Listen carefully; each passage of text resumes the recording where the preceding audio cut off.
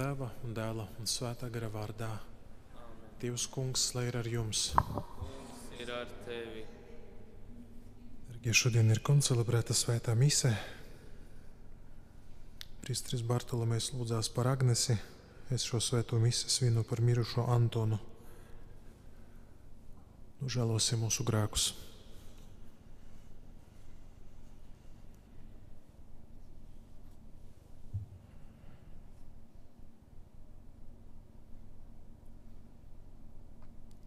Es atzīstos visvarenajam Dievam, brāļi un māsas, kā es daudz esmu grēkojis ar domām, vārdiem, darbiem un nolaidību. Mana vaina, mana vaina, mana vislielākā vaina. Tādēļ es lūdzu visvētāko jaunumu Mariju, visus eņģeļus un svētos, un jūs, brāļi un māsas aizlūgt par mani, kungu mūsu. Lai apžēlojas par mums visvarenais Dievs un piedevis mūsu grēkus, lai mūs aizved mūžīgajā dzīvē. Kungs apžēlojies par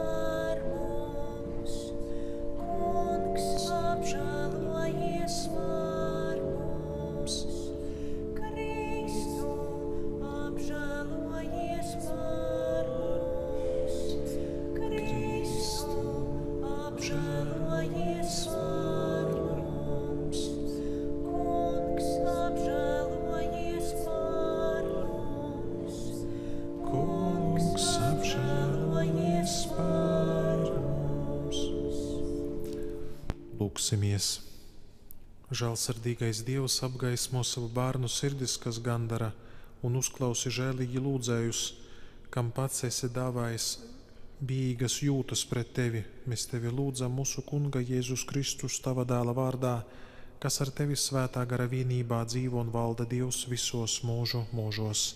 Āmen!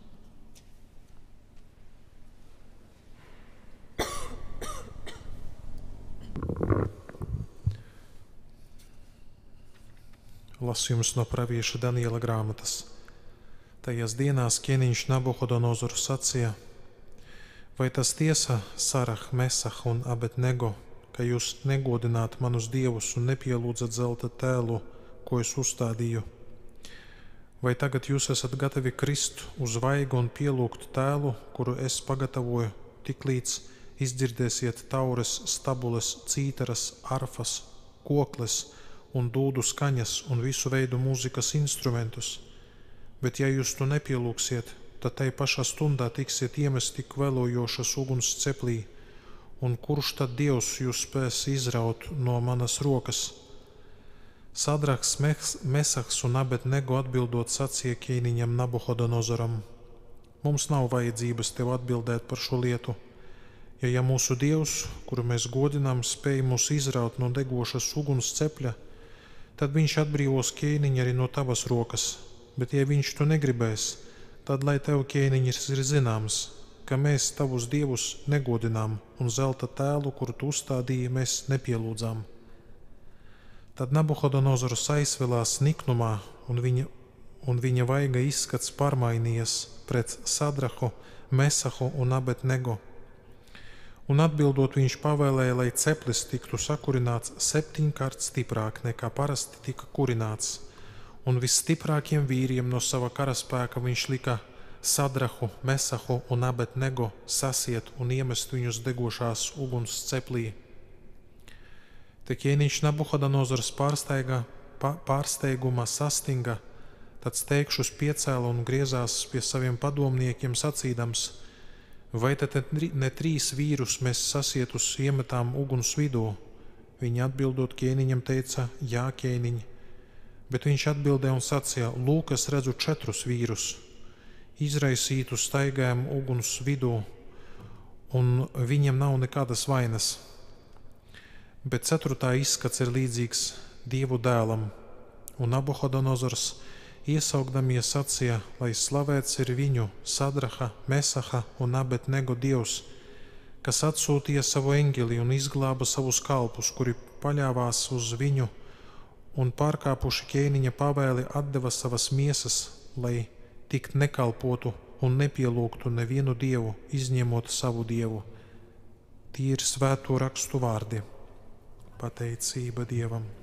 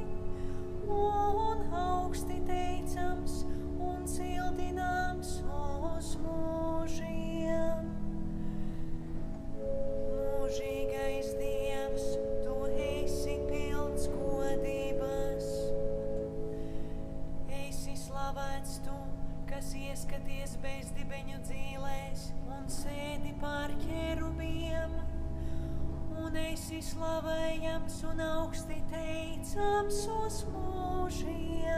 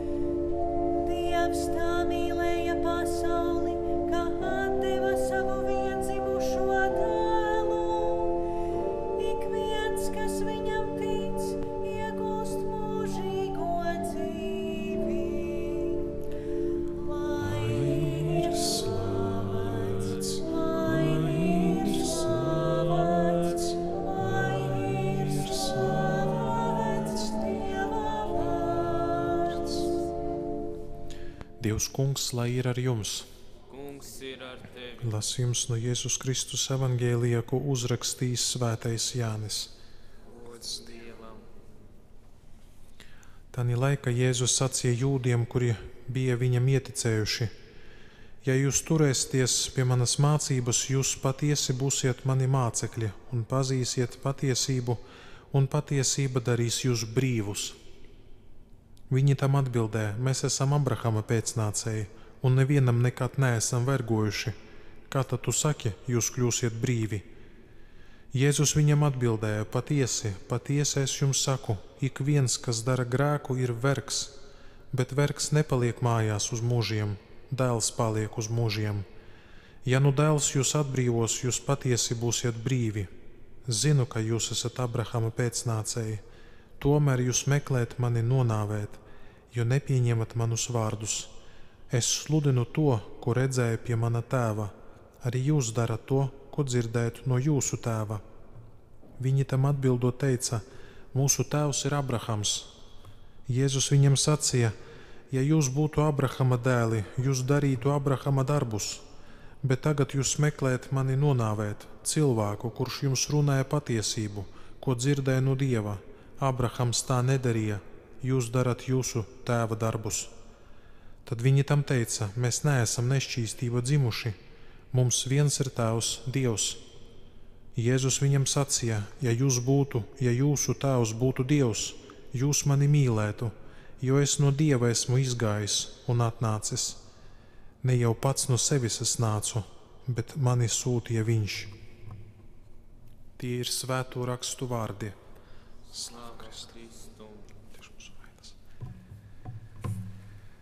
Darbie, šodien dzirdējām tādu interesantu pirmo lasījumu no vecās derības no pravieša Daniela grāmatas, kur šis stāsts, šis notikums savā būtībā runā par, par divām lietām, par lielu tādu radikālu brīvību, par em, tiem, kuri seko Dievam un ir uzticīgi Dievam, par to cilvēku iekšējo brīvību un arī par radikālu paļāvību uz Dievu. Šodien galvenie varoņi ir trīs jaunekļi, kuru vārdus es pat nemēģināšu izrunāt, un ķēniņš Nabuhodonozors. Kas tur ir pa lietu? Viņš eh, teica, lai viņi pielūdz viņa dievekļu, dievekli, bet viņš viņa atteicās, un tad viņš dusmās, skaudībā teica, tad jūs būsiet sasieti, un es jūs iemetīšu uguns ceplī, un tad redzēsim, ko jūsu dievs, kā viņš jums palīdzēs.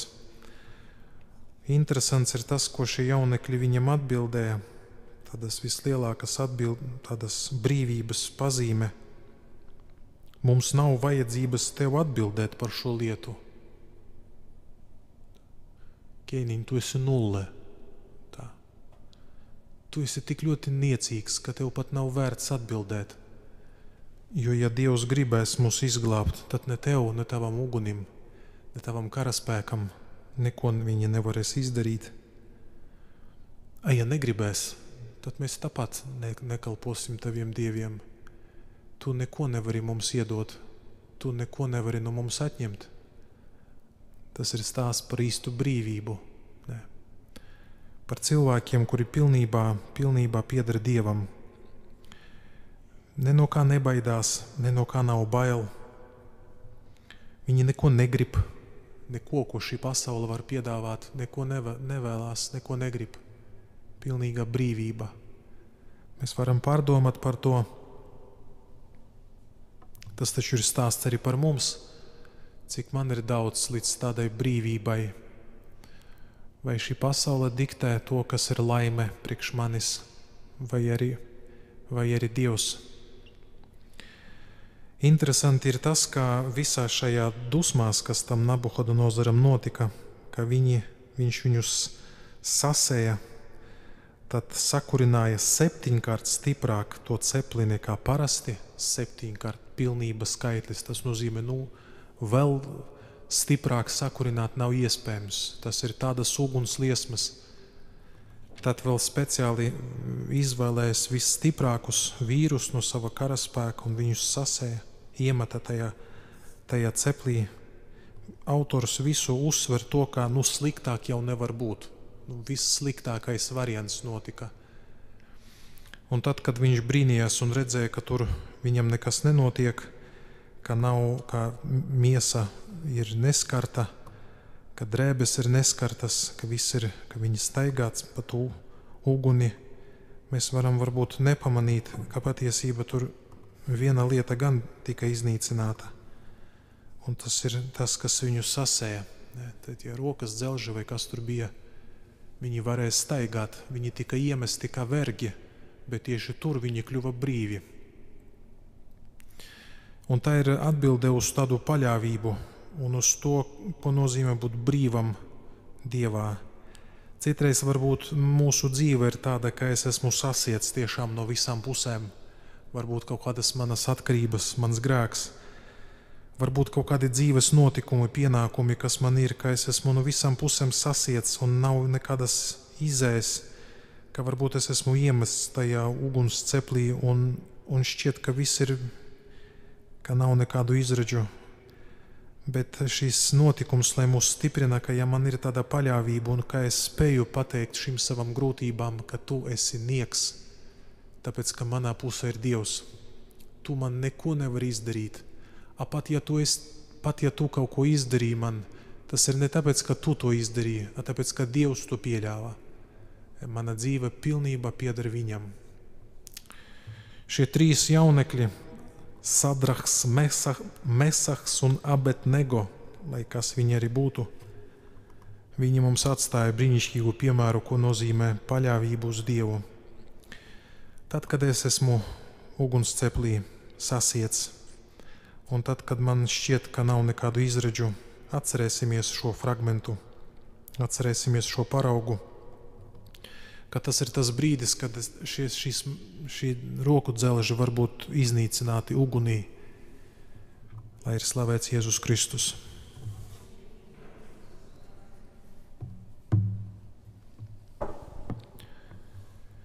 Vienosimies kopīgā lūkšanā. Lūksimies par visiem ticīgajiem, lai gavēņa grēksūdzē viņi sagatavo pestītājiem cienīgu māju vietu savās sirdīs Mēs tevi lūdzam, Kungs un Dievs. Lūksimies par grēciniekiem, lai Kristus ciešana nopelni dzēš viņu vājības un grēkus. Mēs tevi lūdzam, Kungs un Dievs. Lūksim par tiem, kurus nospiež dzīves krusts, lai viņi to nesot, nepazaudētu ticību un paļāvību uz Dievu.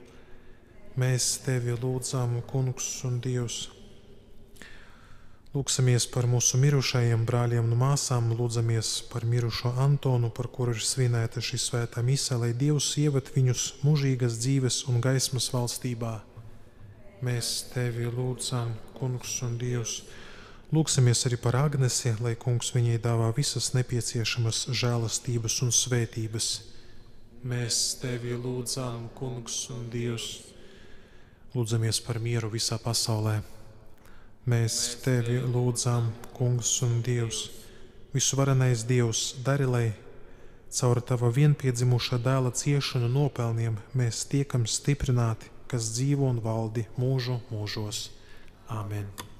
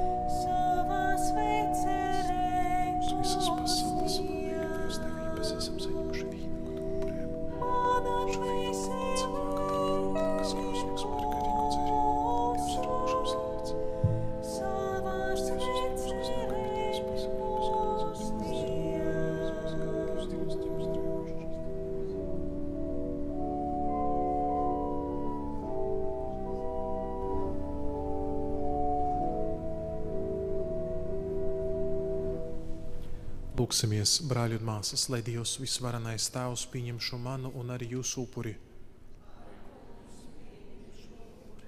Par godu un slavu.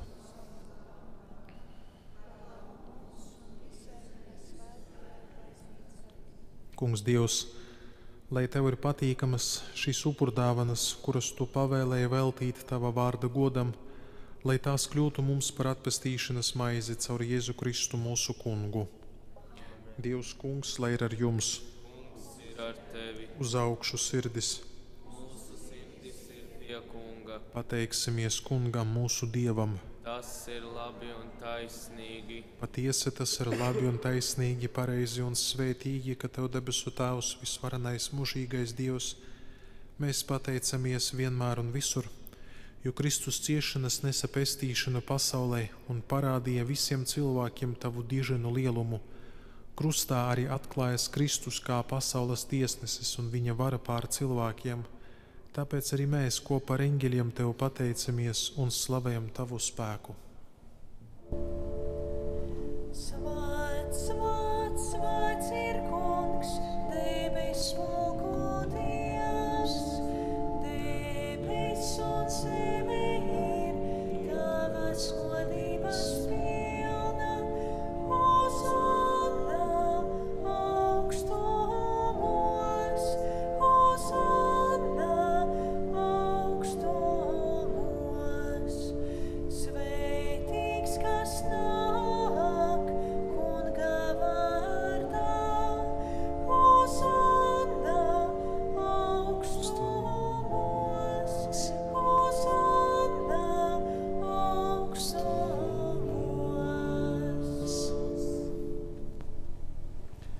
Dievs, tu no pasaules sākuma visu tā kārto, lai cilvēku paceltu izcila svētuma stāvokli, jo tu pats esi svēts.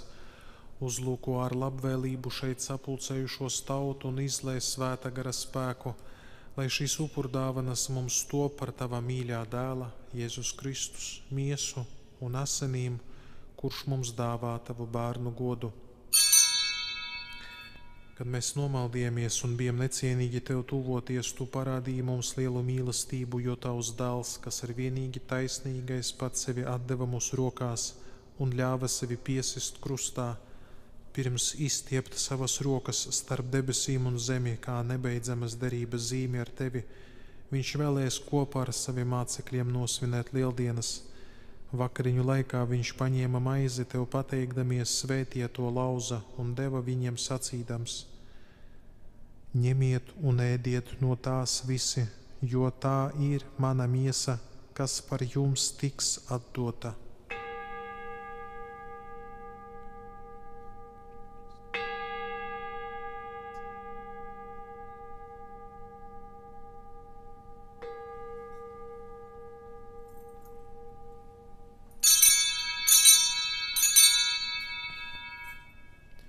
Tāpat pēc vakariņām, zinādams, ka ar viņa izlietējām asinīm pie krusta viss tiks samierināts ar tevi, viņš paņēma bikeri piepildītu ar vīnu, pateicās vēlreiz un deva saviem draugiem sacīdams: Ņemiet un dzēriet no tā visi, jo tas ir manu jaunās un mūžīgās derības asiņu bikeris, kas par jums un par daudziem tiks izlietas grēku piedošanai.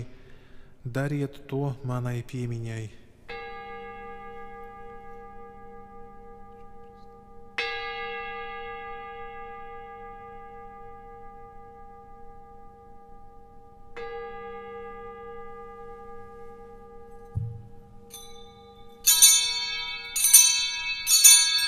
Lūk, ticības noslēpums.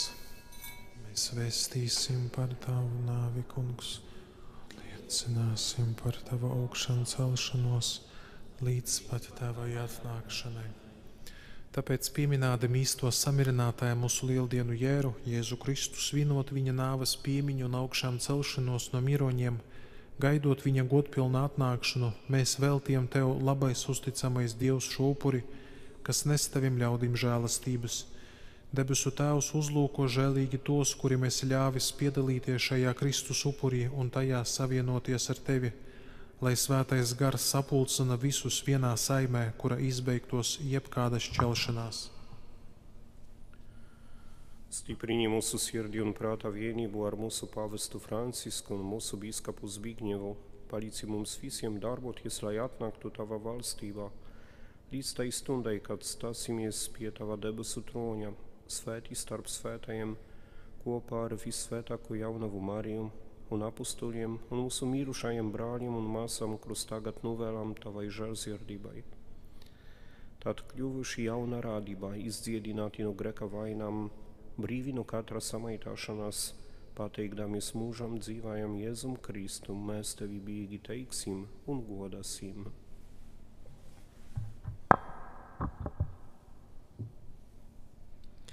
Caur Jēzu Kristu ar viņu un viņā Tev Dievam visvarenajam Tēvam svētā gara vienībā ir visu gods un slava visos mūžu mūžos. Āmen!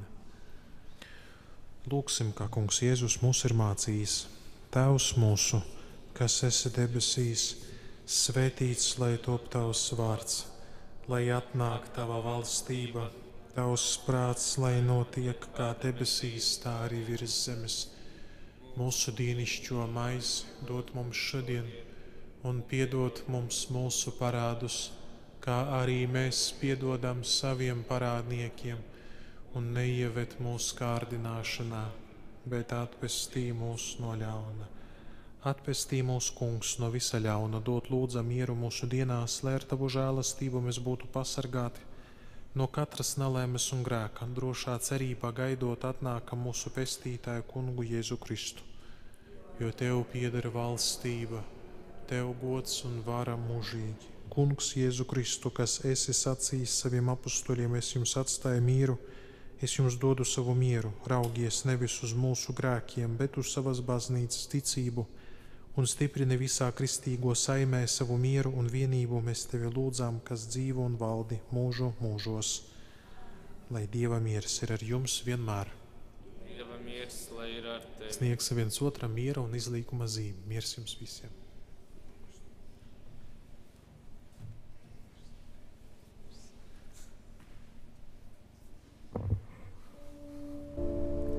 Mūsu kunga Jēzus Kristus, mēs sakraments, kuri pieņemsim, lai palīdz mums sasniegt mūžīgo.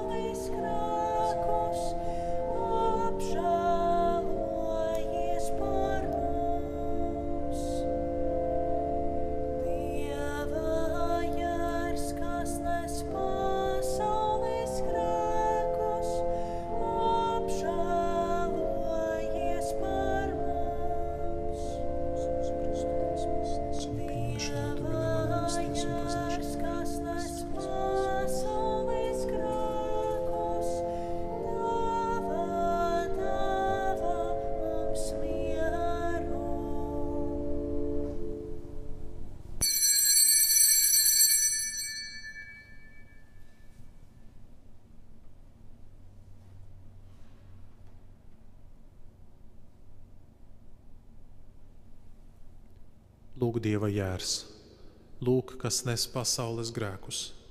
Svētīgi ir tie, kurus Dievs aicina pie sava galda. Kungs, es neesmu cienīgs, ka tu nāktu pie manis, bet saki tikai vārdu, un mana dvēsele kļūst vesela.